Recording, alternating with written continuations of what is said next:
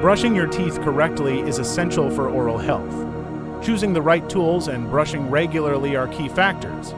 An electric toothbrush features a round brush head with ultrafine bristles that move independently. These bristles can reach the narrowest interdental spaces and the gum line, where plaque and bacteria that lead to tartar accumulation thrive. The autonomous movement of the electric toothbrush head effectively cleans teeth and gums by removing plaque buildup caused by food. The electric toothbrush offers significant benefits for oral health and is easy to use. The internal motor, powered by rechargeable batteries, causes the bristles to move, helping eliminate plaque and reduce the risk of serious diseases. To use it, simply place the brush head on each tooth for about 30 seconds.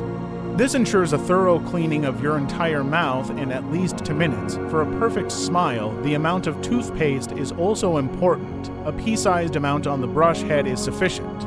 Rinse the brush head under the faucet and begin brushing your teeth. By following these simple steps, your electric toothbrush can contribute to effective and proper cleaning, thereby maintaining optimal oral health.